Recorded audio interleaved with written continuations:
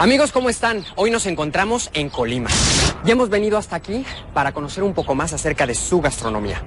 Acompáñenme, vamos a dar un recorrido y a buscar a alguien que nos enseñe a preparar algo típico de esta región.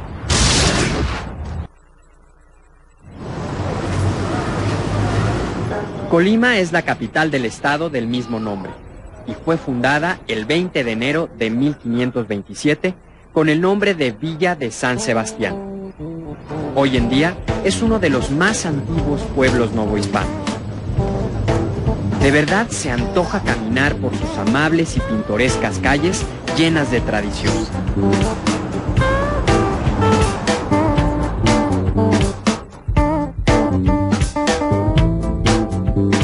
Para llegar a Colima, solo tomen la autopista que va a Guadalajara y en solo hora y media llegarás a este magnífico lugar. Amigos, ahora nos encontramos con Doña Mari, que nos va a enseñar a preparar un platillo típicamente de Colima. ¿Cómo se llama este platillo, Doña Mari? Se llama sopa de pan o sopa de bodas. ¿Sopa de bodas o, sopa, de, sopa pan? de pan. ¿Por qué, ¿Por qué este nombre? De sopa de bodas es porque en una boda hace falta todo. Ajá. Y esta sopa de pan lleva de todos los ingredientes, de lo más que se pueda. Ajá. Por eso es sopa de bodas. O muchos lo nombramos sopa de pan. Sopa de pan. Es como un símbolo, ¿no? De la abundancia Como un símbolo de la, de la abundancia. que sí. se busca en el matrimonio. Qué interesante. ¿Qué, qué tal que nos, que nos habla primero de todos los ingredientes Ah, de todos y los después ya nos empieza a decir cómo preparamos cada cosa? ¿Sí? Ah, bien, sí. Para que vayan ahí tomando nota nuestros amigos allá en sus casas. ¿Sí? Sí, Bueno, entonces, pollo. Pollo. Fue el primer ingrediente. Sí. Muy bien. ¿Qué más? Piloncillo, Ajá. Este semilla de cilantro, Miren. Semilla, la semillita de cilantro. naranja agria, Ajá. la aquí. sal. Esto es para el caldo. Esto es para el caldo. Para el caldo donde se cose el pollo. Qué interesante. Esto le va a dar un sabor muy, muy da- particular, ¿no? Le da un sabor único. La semilla de cilantro le da un sabor muy único. Bueno, pues ya vamos a ver cómo lo hace eh, la señora Mari. ¿Qué más necesitamos? Zanahoria, Zanahoria, papa. papita que aquí ya la tiene bien picadita. Esta es la forma como vamos a utilizar. Esta es la forma como se utiliza. Muy bien. ¿Qué otro Garbanzo. Garbanzo por acá está. Garbanzo, Ejote. ejotes, Muy bien. chícharos, Muy buenos chicharitos. plátano gordo, Ajá. pasas, Ajá. Y son almendras. Pasas y almendras. y almendras. Huevo, huevo cocido. Aquí lo tenemos aquí ya. en rebanadas. El pan, que es lo De principal. ahí el nombre, Sí. ¿verdad? Para dorar el pan necesitamos manteca, Ajá. porque se dora una parte de, de- es bolillo, Bolillo. Entonces, Bolillo. bolillo del común y corriente. del común ¿no? y corriente, rebanado. Este, doramos una parte en manteca y otra parte en comal. Ah, perfecto. ¿Y por qué una parte en manteca y otra parte en comal? Mire, si, está- si se dora todo en comal, Ajá. puede ser muy insípido. Ajá. Y si se dora todo en manteca, es muy grasoso. Entonces esto le da una combinación. Claro. Para que tenga el sabor suficiente sin Sí. ser tan grasoso. Bueno, parece que son todos los ingredientes entonces. Y doña Mari, pues, este, ¿cómo ve? ¿Empezamos? Vamos empezando. Manos a la obra entonces. El primer paso para preparar es estas tortillas Ajá. que se ponen con grasa, con Muy bien. manteca. Esta se pone así.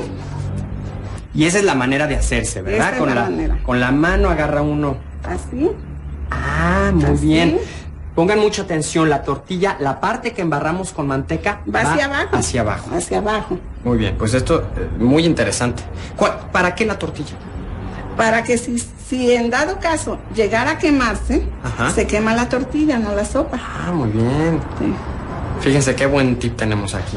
Bueno, entonces ya tenemos aquí lista la capa eh, de tortillas De tortilla. con manteca. Sí. Muy bien. ¿Cuál qué sería lo que sigue? Lo que sigue es poner el pan Ah. que está dorado en el comal, acomodarlo Muy bien. para que este ya el pan que va dorado con manteca, Sí. eh, la grasa siempre se va hacia abajo y entonces le da sabor a este pan que va dorado sin, Claro. en el comal. Sí. Muy bien.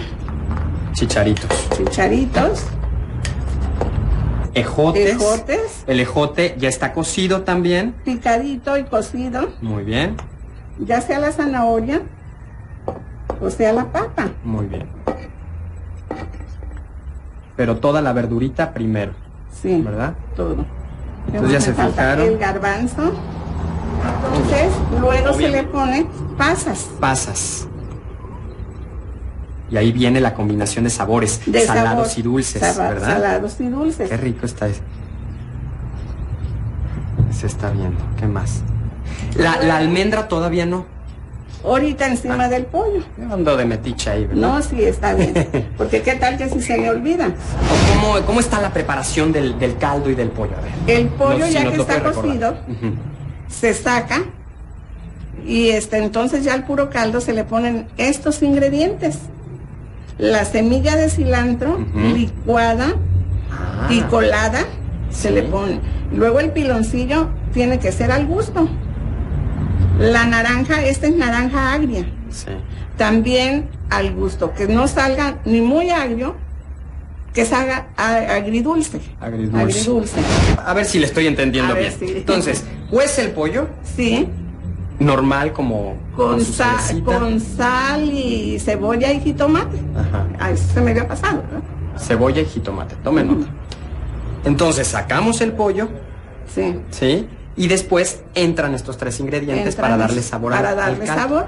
Este molido eh, en a- licuado Licuado. con agüita colado, y colado. Y colado. El piloncillo al gusto y la naranja agria Ahí al, al caldo. al caldo. Se deja hervir un Por poquito. cierto, la naranja como es muy, tiene mucho zumo, se pela. Peladita Ah, para que no vaya zumo. Muy bien. Bueno, entonces este, pues qué, qué, qué buen tip nos acaba de dar, porque esto seguramente le va a dar un sabor muy particular al Sí. platillo. Sí, le da, eh, es más, es el sabor de la sopa de la de sopa pan. de pan. Pues ya tomaron nota y ese es el secreto. Muy bien. Ahora- Entonces estábamos poniéndole la capa de el pollito ya desmenuzado. Sí. ¿Verdad? Este, voy a tomar este, que este va aquí. El plátano macho. Primero obviamente lo rebanamos también, lo, lo freímos Sí. y ahora ponemos ya Las rebanaditas. las aquí. rebanadas sobre el Entonces, pollo. ya le ponemos las almendras. La almendra, ¿cómo la, la prepara? ¿Doradita? La, la almendra la cocemos, se cose y se pela para que suelte el pellejito. Ah, sí. muy bien. Entonces cocida. Cocida. Este es el pan que eh, está doradito en Dorado manteca. con manteca.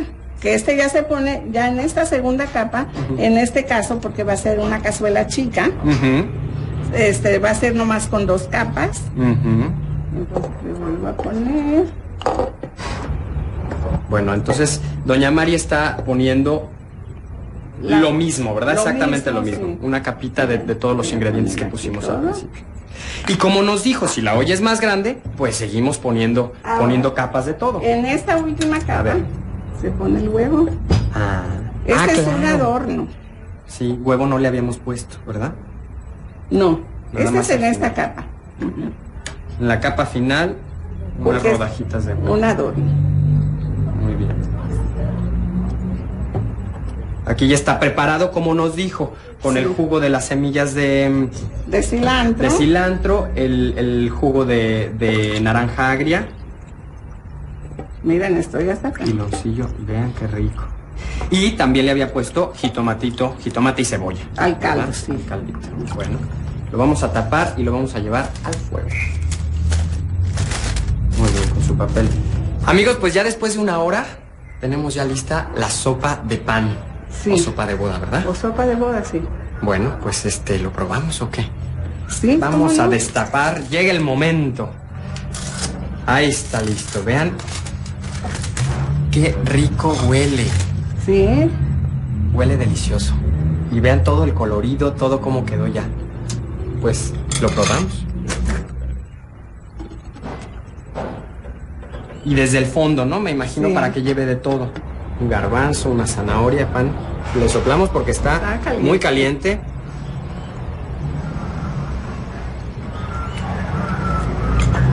Exquisito. Bueno, Mm. a mí me da gusto que les guste porque es una, una tradición, una tradición Claro. muy vieja, que ya esto ya se está perdiendo. Y no podemos dejar que se pierda. Primero porque créanme, está delicioso. Y segundo porque es parte de nuestra historia, ¿no? Sí. De la cultura. Y hay que seguir comiendo aquí. Hay que seguir ¿Verdad? comiendo, sí. Ahorita nos traemos otro plato para comer los dos, ¿no? Bueno, Amigos, seguimos aquí en la ruta del sabor, no se vayan. Mm.